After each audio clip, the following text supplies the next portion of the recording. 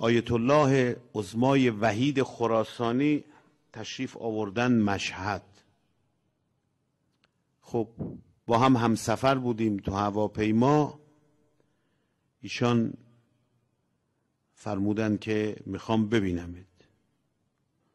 ما هم که دنبال چنین فرصتهایی هستیم.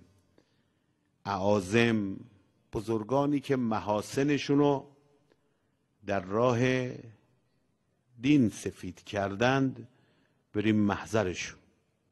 دیروز رفتم محضرشون. یک ساعتی دیدار بود. در ضمن صحبتشون فرمودند که سلام مرا به آقا برسانید. بگید از صمیم قلب دوستشون داریم.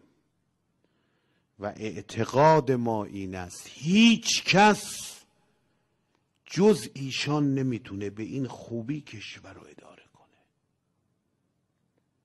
این دیگه واسطه نمی‌خوره که بگویند گفته شده یا گفته نشده. سریع از ایشان اینا شنیدیم. ایشون فرمود من سه تا دقدقه دارم.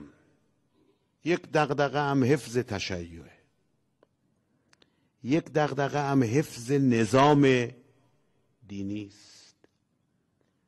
دقدقه دیگرم این است که روحانیتی که بر سر کارند و با وجود اونها اسلامیت نظام میماند اینها بمانند.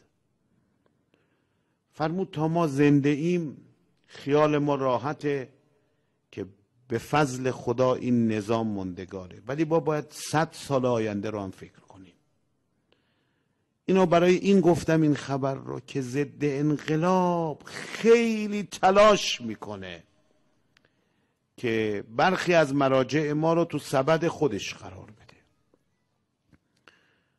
این موضعی که البته ایشون علنی نگفتند به بنده گفتند و هر وقتم صلاح دیدند اینها رو علنی بگن. گرچه مبنای ایشان که از فرزند ایشان هم شنیدم این است که تضعیف نظام قطعا حرامه.